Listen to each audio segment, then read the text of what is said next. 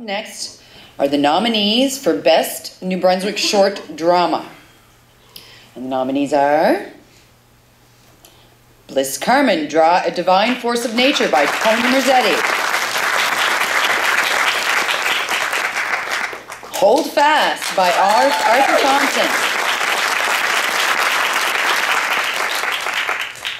And Box Face by Joel Thompson. Congratulations to all the nominees. And the recipient for Best New Brunswick Short Drama is Tony Merzetti for Bliss Carman, Divine Force of Nature. Well, this is a great honor. Thank you very much.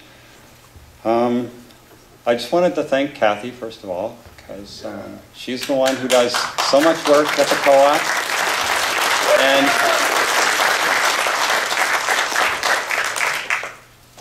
the co-op just wouldn't be the same place without her. She helps so many people, and even putting the festival together, like she does, the Lions share the work around the office to prepare for this event. So I just wanted to make sure she's never in the spotlight. She's always in the back and stuff like that. So I wanted to recognize her. Um, for the film, I um, wanted to thank Bliss Carman.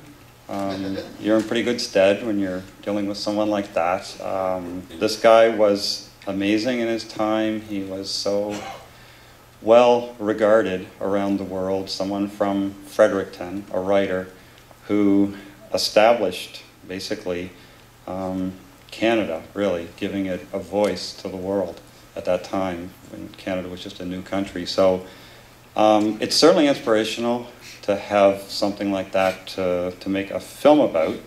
And um, for this film, without having the amazing cast and crew, um, like I said before, Mar Maria and Jeff and Lex were just fantastic to work with, and the rest of the cast and the crew. People are so wonderful. Like really, um, you know, people say thanks Tony and Kat and stuff like that, but really I have to thank the co-op. The co-op's given me a lot and continues to, and I just love this organization and the people in it. So thank you very much.